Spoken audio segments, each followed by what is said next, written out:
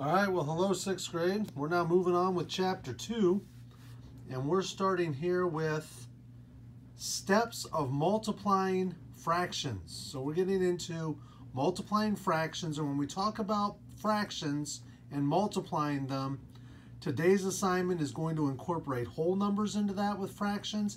It's going to incorporate mixed numbers, and so these are things that you've done before. So this is going to be more of a review. But we're going to take uh, some time here on today's video to make sure we understand that. First, you'll see what I've got here in the screen. Four steps to multiplying fractions. You're going to want to write these down, take a screenshot or something. So please take the time to pause and do that now. Okay, so now we're back. These are steps of multiplying fractions, and we will re recite these. We will say these in class. Number one, make everything a fraction. Step two, cross-check. Step three, multiply. Step four, simplify. So once again, steps of multiplying fractions. Step one, make everything a fraction. Step two, cross-check. Step three, multiply. Step four, simplify. So that is what we are getting into. That is what we're looking at here today. So let's actually get to looking at those and what that means. Well, step one, if we look at example one, was to make everything a fraction. Well, everything is a fraction. 3 fourths times 8 over 15, everything already is a fraction, so we can leave that alone. Step two was to cross-check. Now, I am not sure whether or not you are familiar with cross-checking, okay? But I'm going to show you cross-checking because it makes that final step of simplifying your fraction much, much easier. In fact, if you do the cross-checking correctly, you can avoid the last step, simplifying altogether. When we cross-check, we match up these numbers, the 3 and the 15 and the 4 and the 8. Now I'm going to go ahead and circle these, but only on this example. You match up the 3 and the 15, you match up the 8 and the 4. That's how they always match up. It's not going to be necessary to circle them. That's not required. I'm only going to do that on this one just to show you that it's this numerator and this denominator, this denominator, this numerator that get matched together. And what you do then is you ask yourself, is there a number other than 1 that can go into both 3 and 15? So this is now a review of factors finding the factors of the number. We are looking for a common factor, a number that can go into both 3 and 15. This is where, once again, knowing those multiplication and division tables very important. And so we're going to say, okay, the number that can go into both 3 and 15 evenly is 3. It can't be 1. I mean, yes, 1 can go into both of them, but when we divide by 1, nothing changes. So you don't use 1 as a factor. So uh, we're thinking that 3 is the number that can go into both 3 and 15. So we're going to think, okay, well, we're going to think 3 divided by 3, and that's 1. Uh, let me get this here where I can write a little better. Then we're going to do 15 divided by 3. 15 divided by 3 is 5. And you can see how I literally cross them off and put the new number. And that's what I'm going to want you to do. It doesn't necessarily look real neat, but you can kind of show your work and still make it look pretty neat. Then we're going to think, well, 4 and 8. Now, right away we might say, well, those are even numbers, so they're both they're, they are both divisible by 2. And that's true. And that would not be wrong to divide them both by 2 and then go ahead and multiply. However, to really eliminate the simplifying at step 6, okay, you want to divide by the biggest possible number. And the biggest possible number that can go into both 4 and 8 is 4. So you're going to think, well, 4 divided by 4 is 1, and 8 divided by 4 is 2. All right? And so, and 8 divided by 4 is 2. So we can go ahead and uh, make that happen. So now I'm ready for step 3, uh, which is to multiply. And so I just multiply the numerators. 1 times 2. 1 times 2 is 2. Then I multiply these denominators. 1 times 5. 1 times 5 is 5, and I end up with 2 over 5. Now, step 4 always, always tells us to simplify. Even if you're confident that you have made these numbers as small as they can possibly be, okay, uh, it's good to simplify. And if you're not sure how to figure out if a number is in simplest form, the way I like to think at it, think of it as is you know a fraction is in simplest form if the only number that can go into both the numerator and the denominator is 1. And so I'm looking for a number other than 1 that can go into both 2 and 5. Well, there isn't one. The only common factor of 2 and 5 is 1. And once again, dividing things by 1 is not going to change anything. So 2 fifths is in simplest form. All right, moving right along. 7 times 5 over 14. Well, step 1 tells us to make everything a fraction. Here I have a whole number. To make a whole number a fraction, I just put it over 1. Okay? Remember, a fraction is just a fancy way of, of writing a division problem. 7 divided by 1 is 7, and 7 was my original number. So I make, a, I make whole numbers fractions by putting them over 1. Now I want to cross-check. When I look at the 1 and the 5, I realize, well, there is no number other than 1 that can go into both 1 and 5. So my 1 and 5 are not going to change, okay? You can't always cross-check. Sometimes you can cross-check both ways, like we did in the first example. Sometimes you're not going to be able to cross-check at all. And here's an example where we are going to be able to cross-check one way. No other number besides 1 can go into both 1 and 5. But we have 7 and 14, and both 7 and 14 are divisible by 7. 7 divided by 7 is 1. 14 divided by 7 is 2. All right, and I just crossed that out and changed that. Now that I've cross-checked, I'm ready to multiply. So I come over here. 1 times 5 is 5. 1 times 2 is 2, and I end up with 5 over 2. And technically, that is in simplest form, because simplest form by definition is that the only number that can go into both of them is 1. And sure enough, the only number that can evenly go into both 5 and 2 is 1. However, Mr. Swack, in this situation, is not going to accept 5 over 2 as a final answer. Okay? This is what we call an improper fraction. When the numerator is bigger than the denominator, in this case, 5 is bigger than 2. Now remember what you've heard me say and what you're going to hear me say a lot. All a fraction is is a fancy way of writing a division problem. You're going to get when you start to have uh, math in 7th and 8th grade, even as you get into algebra, that when you see a fraction, you are just going to be expected to understand that that means division. And so I want to start teaching that now. Essentially, this is 5 divided by 2. So if I come down here where I have a little space, I'm going to rewrite the 5 over 2. I'm going to think, well, 5 divided by 2. Well, to make that work, I think, well, how many times can 2 go into 5? 2 can go into 5 two times. If I take 2 into 5 two times, I have 1 left over, because I can think, well, 2 times 2 is 4 and then I still have one more to get to 5. My denominator here is 2, which means my denominator here is 2. I end up with 2.5, and, and that is actually the final answer that I'm looking for. All right, moving right along. 7 over 9 times 21 over 10. Sometimes there will be an improper fraction just incorporated into the problem. Doesn't change anything. Don't, don't change that now. Keep that the same now. We'll change it at the end because step one tells us we have to make everything a fraction anyway. So it is a fraction, so we're going to leave it alone. Step two tells us to cross-check. Well, I'm going to look at 9 and 21, and I'm thinking about my times tables, and I think both of those numbers are divisible by 3. So I'm going to do 9 divided by 3, and that's going to be 3. Then I'm going to do 21 divided by 3, and 21 divided by 3 is 7. So I'm going to change the 21 to a 7.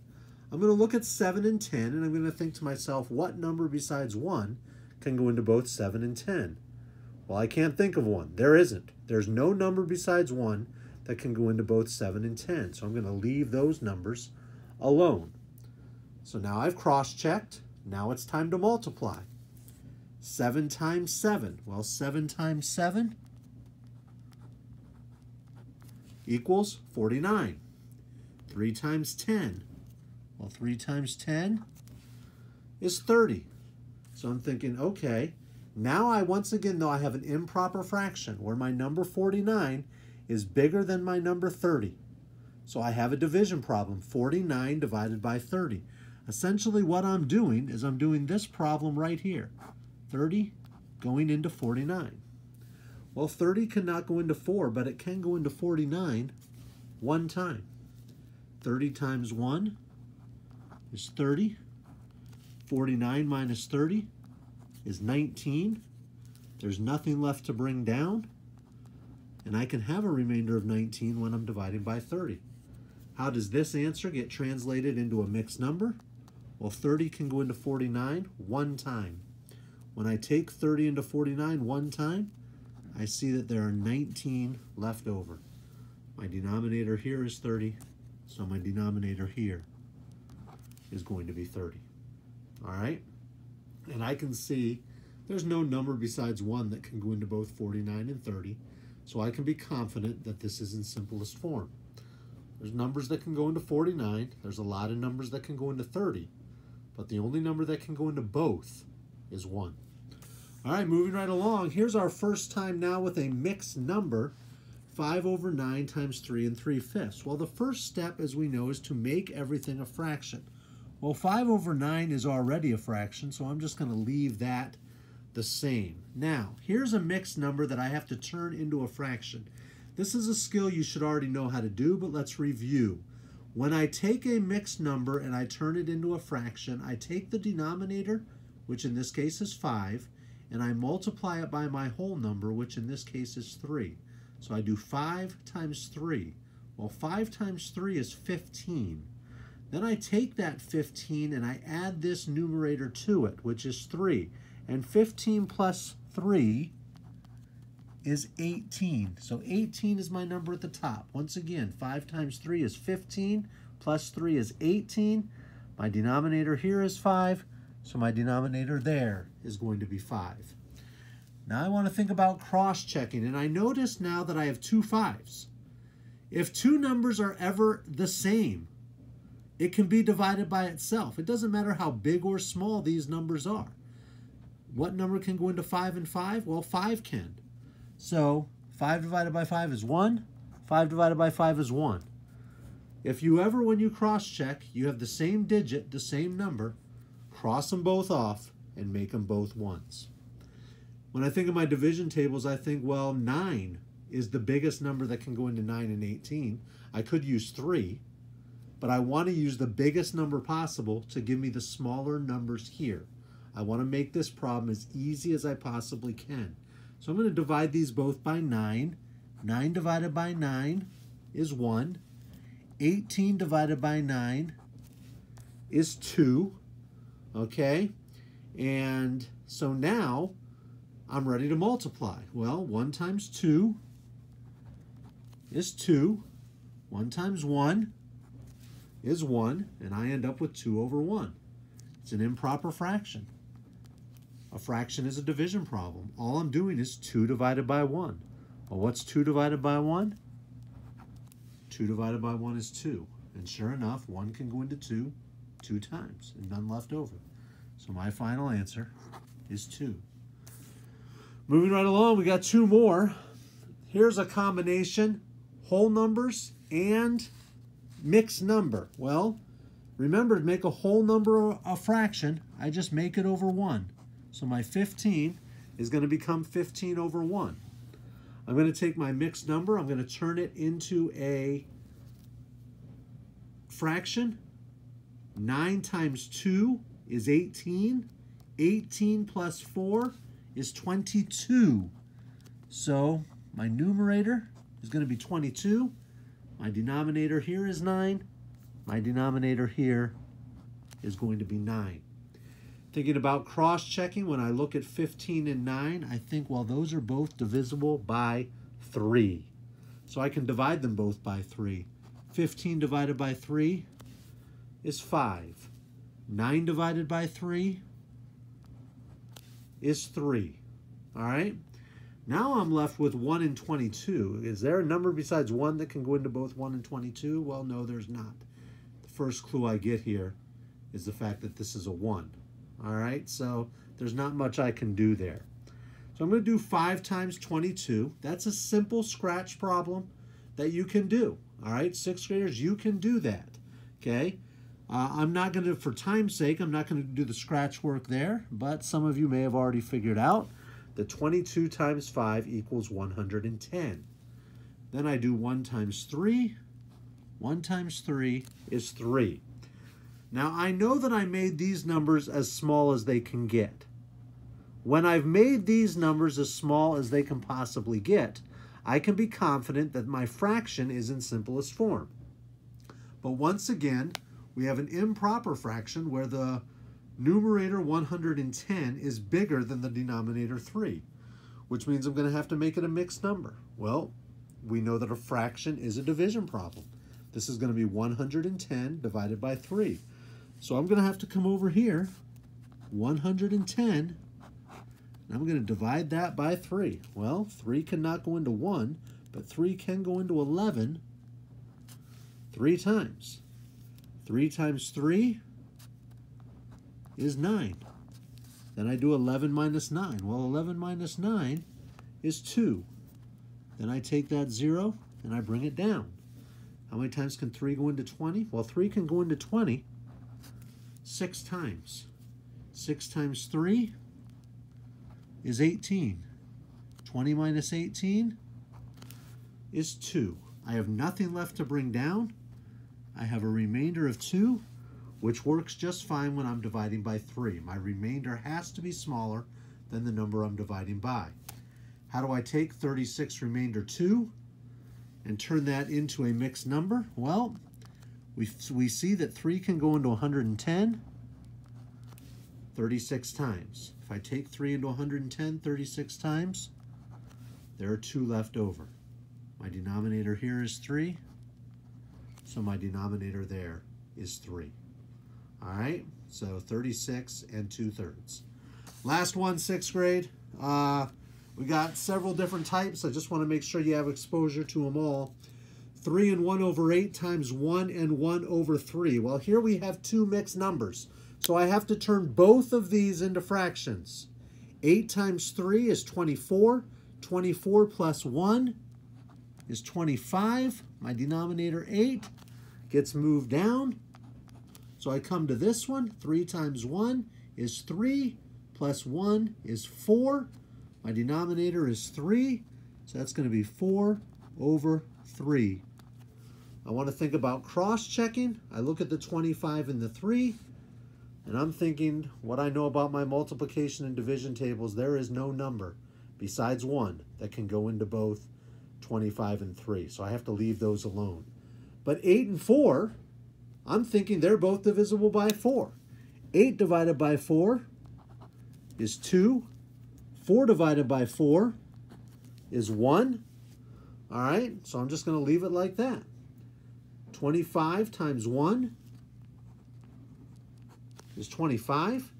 2 times 3 is 6. And I'm thinking, well, okay. 6 can go into 25. Improper fraction, 25 divided by 6. 6 can go into 25 four times. If I take 6 into 25 four times, there will be one left over. My denominator here is 6. My denominator there is 6. I get a final answer of 4 and 1 sixth. All right, that's multiplying fractions. Tomorrow, dividing fractions and mixed numbers. Sixth grade. Talk to you later. Bye.